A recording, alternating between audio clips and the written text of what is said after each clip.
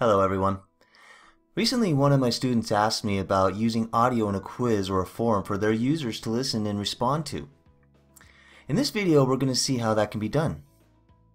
I've got a Google form open here with a question already set up.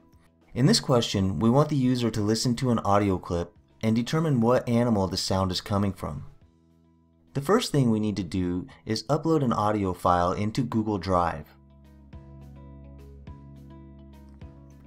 I've got one here that I'm going to use, so I'll make sure that link sharing is on and copy the link. I can now take this link and simply add it to the question in Forms.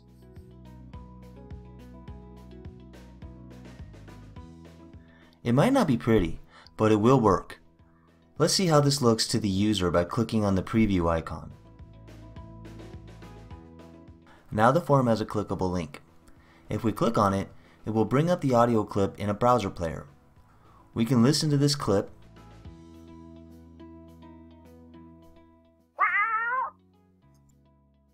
then go back and answer the question.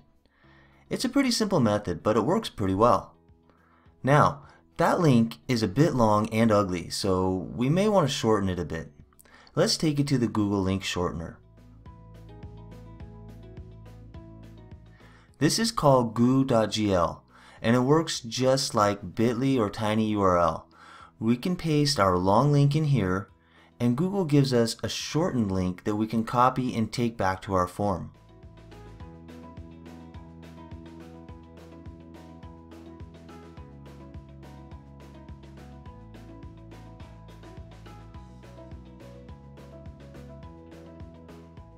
And that looks a little better. So that's how you can use audio files with your form or quiz. I hope you found this video to be helpful. Please share it with others, subscribe to the channel, and keep learning. I'll see you in another video.